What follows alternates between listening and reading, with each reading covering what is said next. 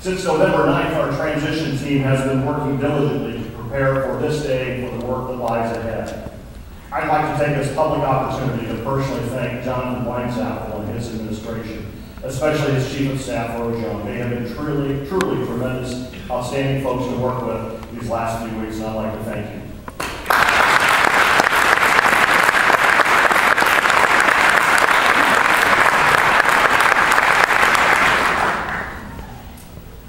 Well, to be inaugurated January 1st is an ideal beginning to the work that we have before us as a city and a new administration. There's hardly a day on the rest of the calendar that holds more promise than the first day of the year. It's a day filled with anticipation. Anticipation for all those activities and challenges that the year has waiting for us ahead. For us today at Evansville, I believe the new year offers that same promise. I'm here to say that I feel anything, I feel little else but anticipation for what lies ahead in 2012. Taking the oath of office as your mayor is a, a new beginning, not just for me, but for our city. New ideas, new approaches and solutions, new relationships, new leadership.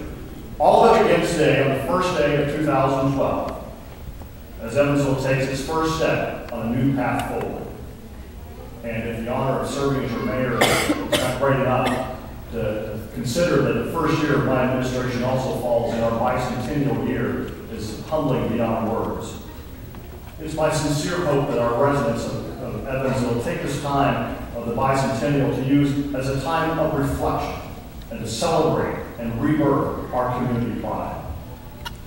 One of our city's most quoted former leaders, a visionary mayor who appreciated the challenge of his era, Benjamin Bosse, had a framed motto in his office. This is what it read. I shall not walk where the path may be. I shall walk where there is no path, and I will leave a trail. Our objective is to leave the city where there is no path, so as to leave a bright and prosperous trail for future generations. We will chart a course that takes Evansville well beyond the crossroads of where it stands today. This new path forward will start with a focus on job creation, public safety, community appearance, neighborhood development, and infrastructure improvement. But the ideas and policies that we implement are only part of the solution. Our new path forward as a city must also include a focus on building new and stronger relationships, opening new lines of communications for our citizens, and improving the content and quality of our public discussions about the tough challenges ahead. Like most cities, our most formidable challenge is getting people back to work, including our brave veterans, many of whom are leaving the danger of war zones to rejoin family and friends. We must be cognizant as a community of their sacrifice and strive to do our best to help them return to the workforce and to an everyday life. I can assure you that we won't always agree on every, every issue and every decision that lies ahead, but I can assure you that we will listen first, treat all sides of the discussion fairly and considerately, and work harder than ever to find common ground because the future of our city demands nothing less. January 1st, 2012. The first day of the year, the first day as mayor, first day of a new administration, and the first of many steps Evansville takes on a new path forward. We have a lot of work and more than just a little fun ahead. In fact, the first week of our administration is jam-packed with activities, and I will tell you the pace of week one will be, an, uh, will be indicative of our style and approach to leadership. In closing, let me just reiterate how personally humbled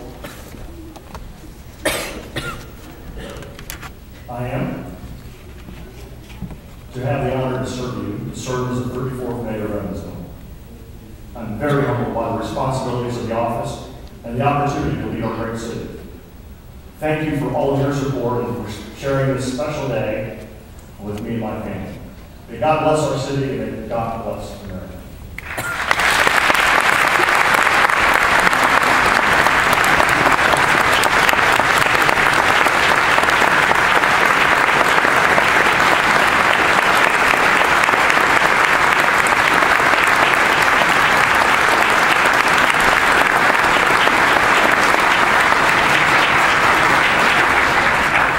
Thank you very much for your time. At this time, I'd like to call on my police chief designee, Billy Bolin, and his wife, Vincent. And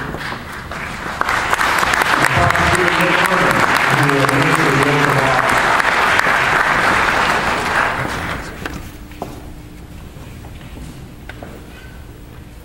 Raise your right hand.